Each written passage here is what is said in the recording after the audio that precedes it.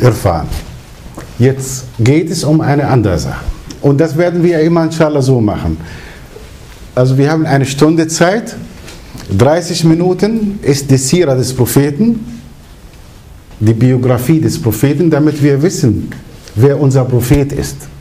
Denn wer nicht weiß, wer der Prophet Muhammad ist, der wird niemals ein guter Muslim werden. Warum? Weil Allah uns befiehlt im Koran, den Prophet Muhammad als Vorbild zu nehmen. Wie kannst du jemanden als Vorbild nehmen, wenn du nicht mal weißt, wie er aussah, was er für ein Mensch gewesen war? Geht nicht. Ja? Die nächste halbe Stunde machen wir Islam allgemein, damit es interessant für euch wird. Ja? Okay. Die meisten von euch beten, oder? Wer betet nicht? Alhamdulillah. Das heißt, ihr betet alle. Warum beten wir? Weil Allah uns befohlen hat. Ja? Allah hat uns befohlen, wie viel Mal am Tag zu beten? Wie viel? Fünfmal. Nicht dreimal und nicht viermal, sondern fünfmal. Ja? Warum hat Allah uns befohlen zu beten? Um uns zu quälen? Um uns zu bestrafen? Nein, Allah hat uns befohlen zu beten, weil das Gebet für uns gut ist. Dadurch wird unsere Seele ernährt. Und das Gebet ist ein Gottesdienst. Und das Gebet ist ein Dialog mit Allah. Wenn du einen Termin mit Allah haben willst, du brauchst nicht zu warten. Aber wenn du zum Beispiel einen Termin mit deinem Schulleiter brauchst, musst du warten. Wenn du einen Termin mit deiner Lehrerin brauchst, du musst warten. Aber mit Allah brauchst du nicht zu warten. Wenn du einen Termin mit Allah haben willst, sofort Gebetswaschung machen und stehen Richtung Mekka. Warum beten wir Richtung Mekka? Beten wir Mekka an? Nein, wir beten nur Richtung Mekka. Ja? Du stehst Richtung Mekka und sagst Allahu Akbar. Was bedeutet Allahu Akbar? Wie oft sagen wir Allahu Akbar am Tag? Wie oft hören wir Allahu Akbar am Tag? Fünfmal hören wir Allahu Akbar am Tag. Wie oft sagen wir Allahu Akbar? Sehr oft. Wir brauchen das nicht zu zählen.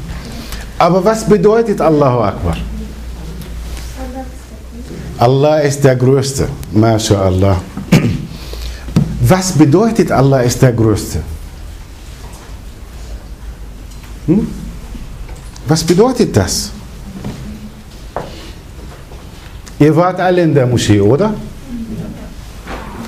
Was macht man, bevor man in die Moschee reinkommt? Was macht man? Man zieht die Schuhe aus, oder? Oder? Oder man geht mit den Schuhen rein. Nee, man zieht die Schuhe aus. Das Gleiche musst du auch in deinem Kopf machen.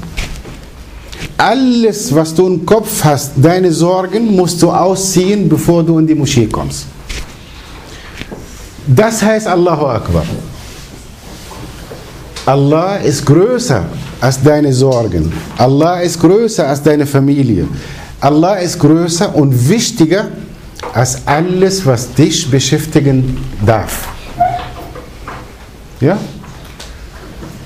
Das bedeutet Allahu Akbar. Allah ist mir wichtiger als alles. Ich stehe jetzt vor Allah. Das heißt Allahu Akbar. Jetzt, wie geht's weiter?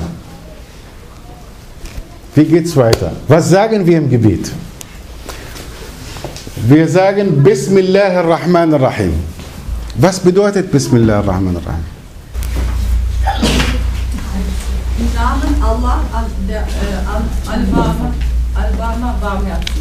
Im Namen Allah. Im Namen Allahs, des Alabamas, des Barmherzigen.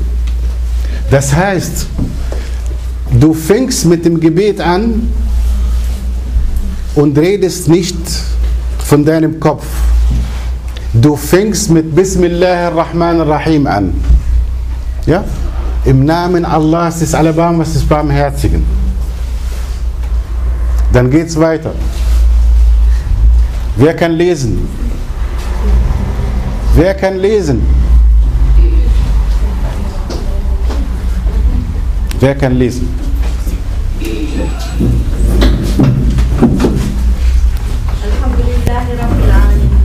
Alhamdulillahi Rabbil Alamin. Das kommt euch bekannt vor, oder? الحمد لله رب العالمين. بس بدوتة الحمد لله رب العالمين. بس بدوتة الحمد لله رب العالمين.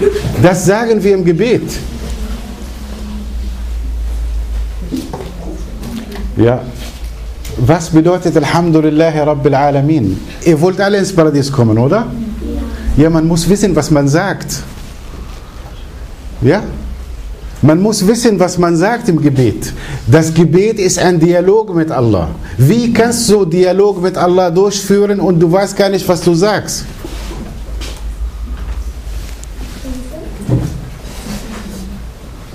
Lauter, lauter. Fast, fast. Alhamdulillahi Rabbil Alamin bedeutet, alles Lob gebührt Allah. Oder mit anderen Worten, mit leichteren Worten, wir danken dir Allah. Du stehst im Gebet und sagst, Bismillahirrahmanirrahim, Alhamdulillahi Rabbil Alamin. Im Namen Allahs des Alabamas des Barmherzigen, alles Lob gebührt Allah. Ich danke dir, Allah. Für was danken wir Allah?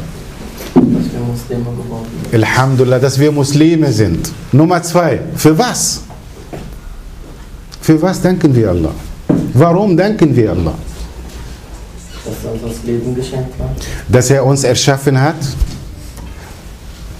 Dass er uns recht geleitet hat. dass Allah uns recht geleitet hat zum geraden Weg, zum Islam. Für was denken wir, danken wir Allah?